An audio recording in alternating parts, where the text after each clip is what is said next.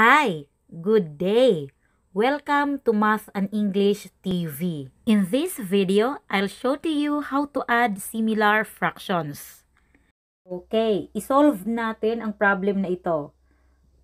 2 sevenths plus 3 sevenths plus 5 sevenths. Okay, So, ang fractions ay similar fractions dahil pare-pareho yung denominator, 7. Pare-pareho sila. Sa pag-add ng similar fractions, i-add lamang natin yung numerators. Ito yung number sa taas. Ito, numerators. At kukopyahin natin ang common denominator. I-plus natin 2 plus 3 plus 5 equals 10. Then, copy the common denominator, 7.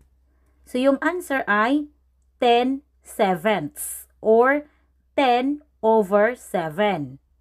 Ito ay improper fraction dahil mataas yung numerator na 10 sa denominator na 7. So, kailangan natin itong isimplify o i-change sa mixed number. I-divide lamang natin yung numerator na 10 sa denominator na 7. Okay, gawin natin. 10 divided by 7, the answer is 1. 1 times 7 equals 7. 10 minus 7 equals 3. Okay, mayroong remainder na 3. Itong quotient na 1, ito yung magiging whole number sa answer natin. Okay, isulat natin yung ating answer. So, yung answer ay itong 1, ito yung whole number. Ilalagay natin dito 1. At ito namang 3, ito yung numerator. 3, then, ang denominator ay yung 7. Okay. Ang answer ay 1 and 3 sevenths. Another example, 2 fifteenths plus 10 fifteenths. Okay, so i-add natin ito. Pareho yung denominators, 15 i-plus lamang natin yung numerators. 2 plus 10 equals 12. Then, copy the common denominator, 15. Kopyahin lamang natin ito, 15. Yung answer ay 12 fifteenths. Ang 12 fifteenths ay pwede pang ma-reduce sa lowest term. Dahil meron pa silang ibang common factor maliban sa 1. Kaya kukunin natin ang kanilang GCF at i-divide natin sila sa kanilang GCF para ma-reduce sa lowest term. Paano natin gagawin?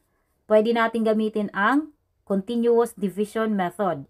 Okay, dito sa baba, 12 and 15. Okay, ito ay continuous division method para makuha ang GCF. Anong prime number ang pwedeng makadivide sa 12 at pwede ring makadivide sa 15. Ang pwede ay 3. Ang 3 ay prime number. Okay, i-divide natin. 12 divided by 3 equals 4. And 15 divided by 3 equals 5. Ngayon, itong 4 at 5, wala na silang ibang common factor maliban sa 1. Kaya hindi na tayo mag-divide. Ngayon, ang GCF ay itong ginamit nating divisor, itong 3. Ito na yung GCF.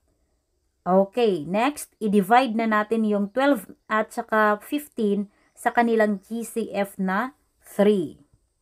Okay, divided by 3 divided by 3. 12 divided by 3 equals 4. Then, 15 divided by 3 equals 5.